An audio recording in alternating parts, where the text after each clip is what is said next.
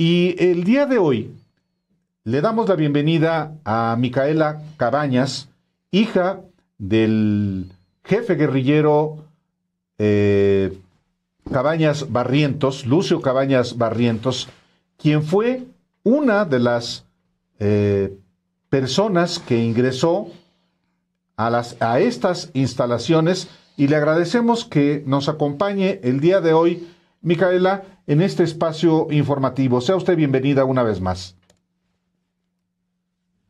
Muchas gracias. Buenas tardes a, todas, a todos, a todos.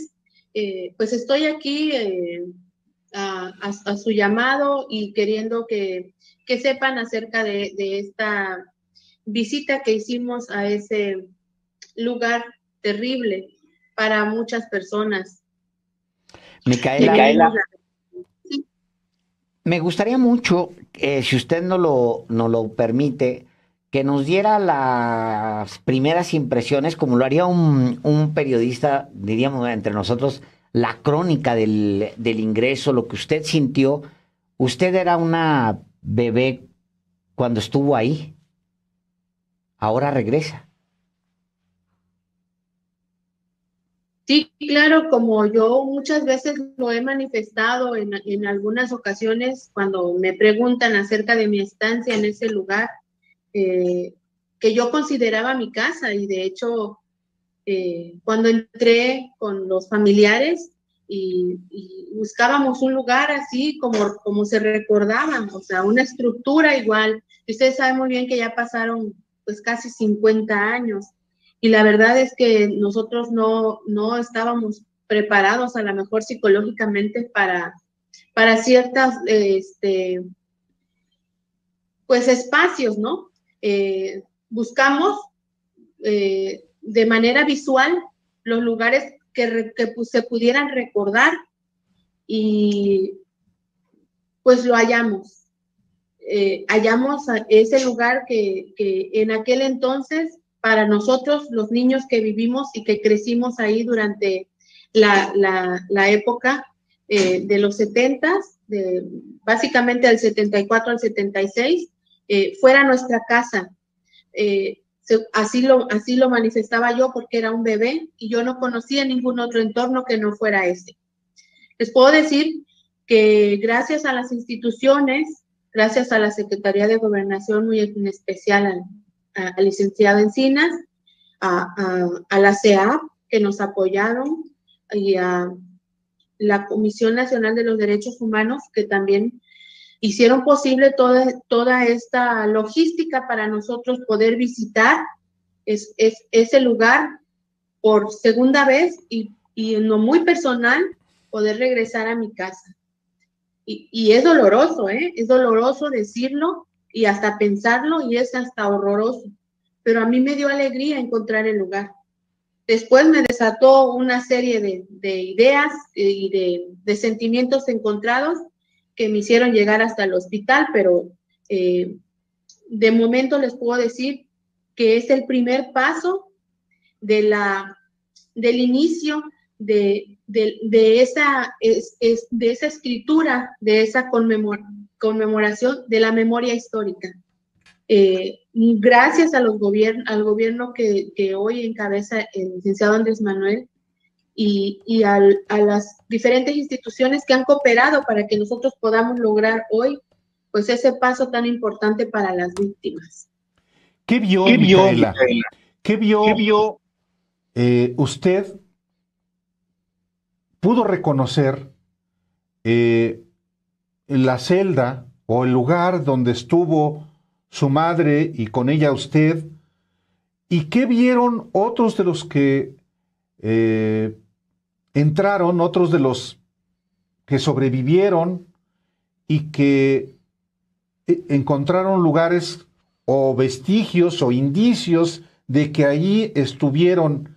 ¿Qué hubo? ¿Qué emotividad? Pero para empezar me gustaría, yo sé que son muchas preguntas, ¿vio usted, reconoció usted eh, en la distancia el lugar o la celda, si es que entraron a esos lugares donde estuvo su madre? sí se reconocieron los lugares. Quiero que sepa que fue tan coincidente que, que se recordaran datos específicos. No puedo decir que fui yo porque yo era un bebé, no recuerdo mucho, pero de acuerdo a lo que contaba mi mamá y principalmente a, la sobreviviente que, que, era mayor en ese tiempo y que es la única que, queda en sí, a una de mis tías, hermanas de mi papá, y a una prima que era, era niña, pero que sí recuerda, eh, ella hizo un croquis antes de entrar. Entonces nosotros íbamos buscando el lugar tal y como ella lo, lo, lo manifestó lo encontramos y ya estando ahí, pues ellos me empezaron a contar la anécdota de cómo vivíamos ahí, de cómo nos desarrollábamos ahí y de quién llegaba y nos hacía un daño ahí. qué, es, qué, lugar era? ¿Qué lugar es y que encontró donde usted aprendió a caminar? En la prisión militar, indudablemente. Esa famosa muralla de la que se hablaban los niños y jugaban es la, la prisión militar. ¿Qué le dice, dice Micaela eh, a usted el hecho de haber entrado a ese lugar donde se torturó, donde se abusó, todo, donde hubo todo tipo de, abusos, en donde hubo eh, muerte, sangre, desde donde se dirigió eh, una guerra de exterminio contra pueblos. ¿Qué le dice a usted 50 eh, años después caminar ese, ese mismo espacio en un momento como hoy? Pues e, e, es doloroso escuchar de viva voz de las personas sobrevivientes, de todas las atrocidades y, y de todas lo que tuvieron que pasar ahí, principalmente de toda la tortura psicológica, corporal, física. fue, fue difícil. Eh, eh, yo les puedo decir que de manera muy sentimental para mí era importantísimo encontrar ese lugar, saber que, yo había estado ahí y, y también sentir ese vacío, ¿no? De, que mi, mi, mamá había sufrido tantas barbaridades dentro de, tanto que tuvo que salir, cuando salió de ahí, iba, llevaba algo en su vientre. Yo, este, agradecí mucho a las personas que nos acompañaron, a los sobrevivientes, y de contar esa historia, que, para muchos es, es como borrada, pero esos lugares guardan vestigios de sangre, de sangre de gente inocente que, que no pidieron eso, que simple y sencillamente se apellidaban, eh, vivían en el campo, trabajaban como cualquier campesino y que simple y sencillamente se las atravesaron a, los militares en aquel entonces y decidieron que eran gavilleros, que eran este, personas de mal y les hicieron ese daño, los torturaron hasta la muerte y desaparecieron sus cuerpos.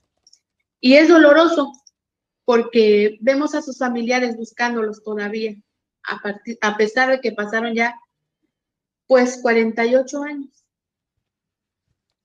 Eh, Micaela Cabañas, hija de Lucio Cabañas, el fundador del Partido de los Pobres, eh, usted eh, era una de las, fue una de las 61 personas que ingresaron al campo militar número uno.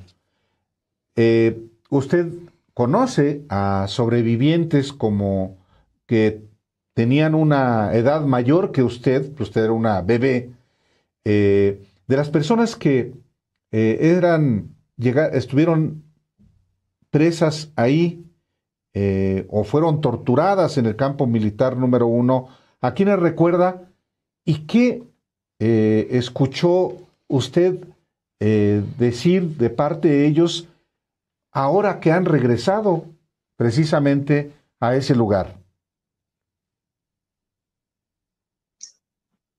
Esas, esas personas, algunas, no todas, siguen vivas pidiendo justicia, exigiendo también que el gobierno reconozca que fue el precursor de los delitos de lesa humanidad más grandes que se hayan existido en nuestro país. Pero de los que, de los que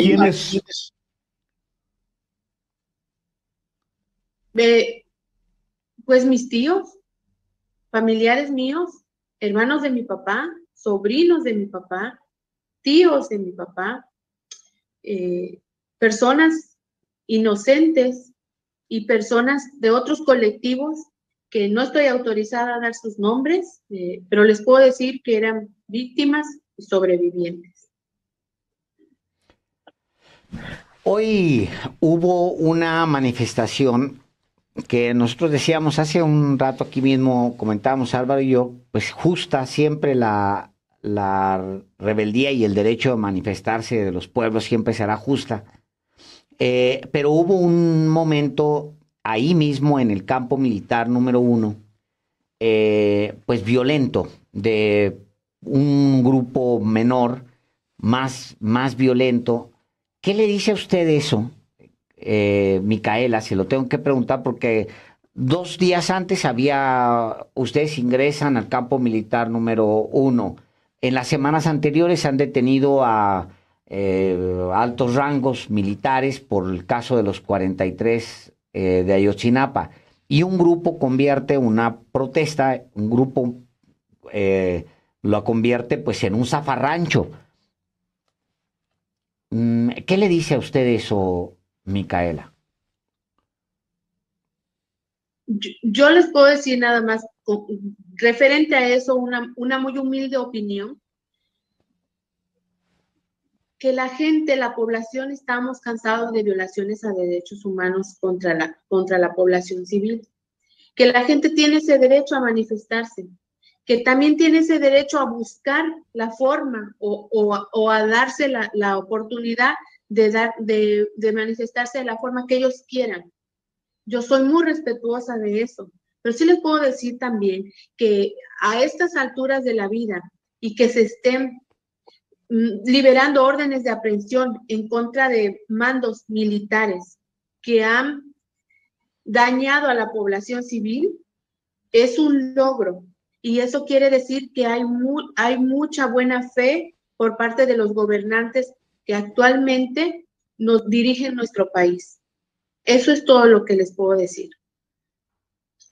Una, eh, va, además de la visita al campo militar número uno, una visita histórica porque nadie eh, había logrado ingresar a ese campo militar número uno eh, después de pues la guerra sucia en la década de los 70 y en una, como parte de una eh, investigación que realiza la Comisión de la Verdad y las víctimas y los sobrevivientes de ese periodo de 1965 a 1990.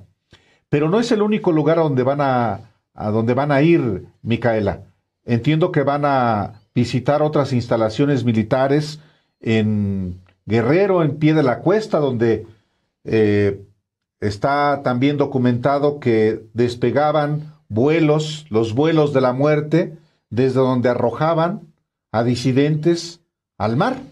¿Van a ir ahí van a ir a otras instalaciones militares? Claro que sí, estaremos muy pendientes porque ya iniciamos, iniciamos bien y tenemos hambre de justicia, desde hace más de 50 años.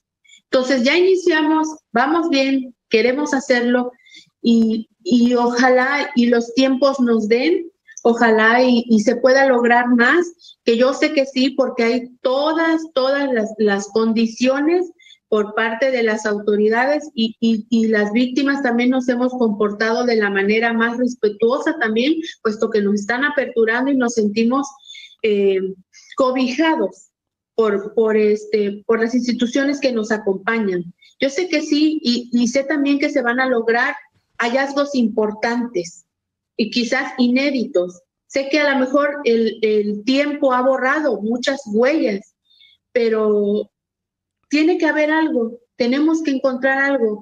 Y hay muchas personas que saben cosas y que ahora con esta apertura quizás se decidan hablar y, podamos llegar a esa verdad histórica que podría sanar un, poco nuestra existencia. Micaela eh, Cabañas, le, hija de Lucio Cabañas, le agradecemos que haya estado aquí en este espacio, como siempre, se lo agradecemos que haya estado aquí en, Los Periodistas. Muchísimas gracias, Micaela. Gracias, un abrazo a todos. Muy buenas, tardes. Buenas tardes.